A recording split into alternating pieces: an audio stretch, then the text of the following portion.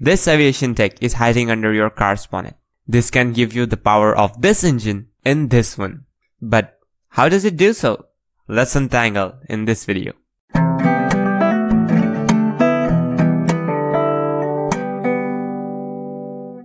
This thing is called as a turbocharger. What it does is it puts compressed air into your engine to get more power out of it. When you get the same power from a smaller engine, you no more need to put an bigger engine in your car. Smaller engine has lot of advantages, like it consumes less space in your car, so you get more cabin space within that same footprint of car. Smaller engines also require less raw material, so these engines weigh less, making your car lighter. So you don't anymore have to waste fuel in carrying that big heavy engine block for that power. Also, due to less consumption of raw material for making that engine, the manufacturer saves some bucks. Also, less weight of the engine gives more power to weight ratios to the race cars. Turbos does that all just by putting in compressed air in your engine. Now you probably might be wondering, how does compressed air does that all? Since the invention of ICE engines, there is one law which hasn't changed. That is, to get more power, you have to burn more fuel as fast as possible. Putting in more fuel is as easy as opening and tap. But to burn it, you need more air. All the air you have to burn the fuel comes from the suction stroke.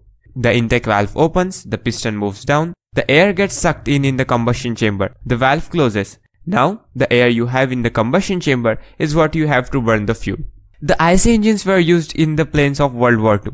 At sea levels, the engines performed well, but as the planes flew up in the sky, due to low pressure at high altitudes, the amount of air the engines were able to suck was very less. As engines had less air molecules in their combustion chambers, they were able to burn less fuel, making less power. So, turbochargers were used to put compressed air in the engines to get more power out of them. They were called as normalizing turbo. The turbo which we use in our car are turbochargers.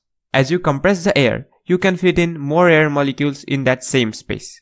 As you introduce that compressed air into your engine, you have lot of air molecules in that same small space. So you can burn more fuel.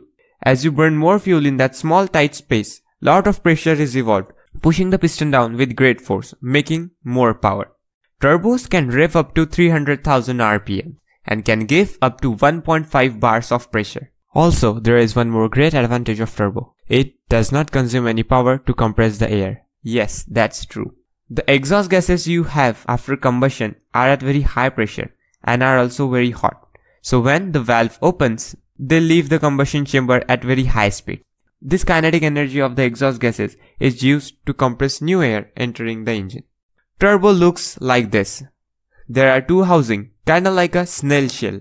One is called intake housing while other is outlet. There is a compressor wheel in the inlet housing and a turbine wheel in the outlet housing. These two wheels are mounted on a single common shaft. When the exhaust gases from the engine enter from here, the turbine spins at very high speeds. Then this gas leaves the turbocharger from here. As turbine wheel and compressor wheel are mounted on same shaft, hence as the turbine spins, the compressor blades also spin with it. So, the air entering into the turbo from this side gets compressed due to the centrifugal forces and is forced out from the turbocharger into your engine from here. A simple but a marvelous machine. We'll learn more about turbos in our future videos. If you learned something new, check out other videos on our channel and subscribe for the new ones. Also make sure you hit the like button. If having any questions, feel free to mention them down in the comment section below. As of for now, I'm signing off and see you guys next week.